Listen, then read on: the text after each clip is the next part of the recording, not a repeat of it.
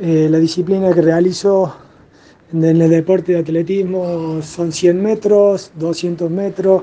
relevo 4 por 100, eh, de los cuales, bueno, comenzamos eh, una temporada en el año, ya en noviembre del 2021,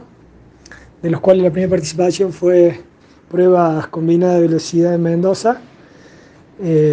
quedando primero campeón argentino en pruebas combinadas de velocidad. Después en San Luis, donde se hizo el campeonato máster argentino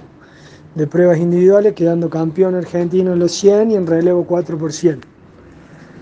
Así también logrando el récord argentino de máster M40 en un tiempo de 11-16, los 100 metros. Y por, último, que sería el, objetivo o el camino a recorrer este año, el campeonato sudamericano en Colombia, en Bogotá, donde participé en semifinal y final de los 100 metros, logrando el primer puesto y quedando campeón sudamericano.